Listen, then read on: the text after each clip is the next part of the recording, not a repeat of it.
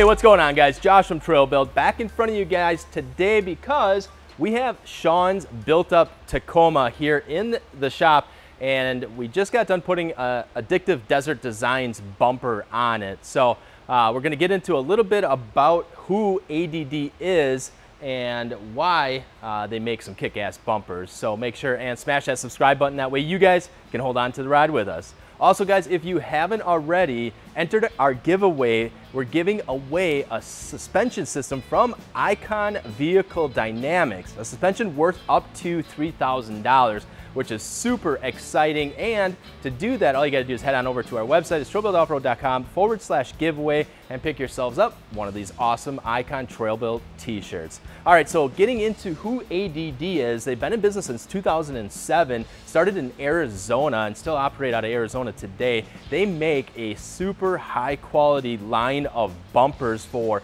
Jeeps, Toyotas, GM, Ford, Chevy, and a whole bunch more.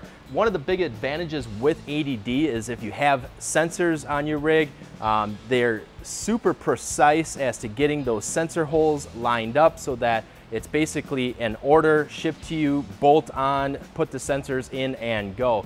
Um, almost all of their bumpers don't require any trimming or any cutting of any sort. So they are bolt-on and then you can get obviously multiple lines of different models that have provisions for lights, provisions for winches and hooks and all sorts of goodies. So if you haven't already heard of ADD or Addictive Desert Design, got to make sure and check them out. They're on our website, right in the accessories page at trailbuiltoffroad.com.